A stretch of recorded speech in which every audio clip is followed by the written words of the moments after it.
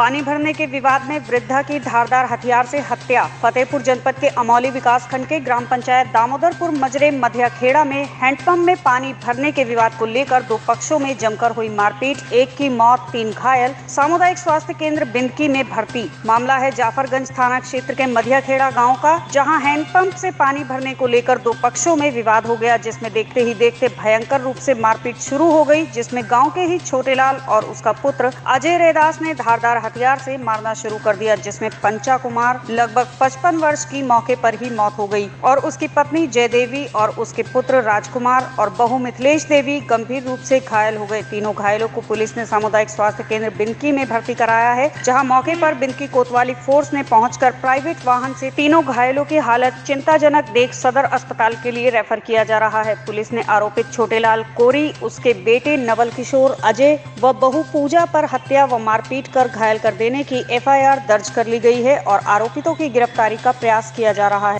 जनपद फतेहपुर के थाना जाफरगंज क्षेत्र के मदिया खेड़ा गाँव में सरकारी नल से पानी भरने को लेकर के दो पक्षों में मारपीट हो गई।